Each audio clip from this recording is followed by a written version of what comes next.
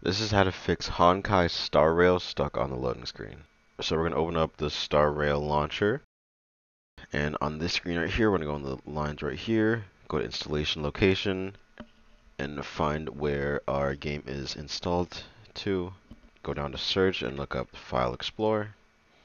We're going to go where this location is at, where the game is located. So we're going to go to this PC, D drive, Epic Games, Epic Games, Honkai Games. For you, it could be completely different, but for my instance, mine is located right here. This is where you find the application for Star Rail.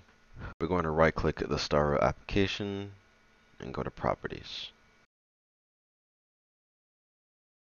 From here, we're going to go in Compatibility tab, and we're going to disable full screen optimizations and run this program as an administrator.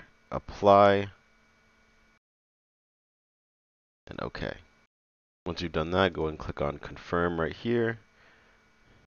Then my game is currently updated, so I can't play it, but you should be able to play the Star Rail game. That's how to fix Honkai Star Rail stuck on the loading screen.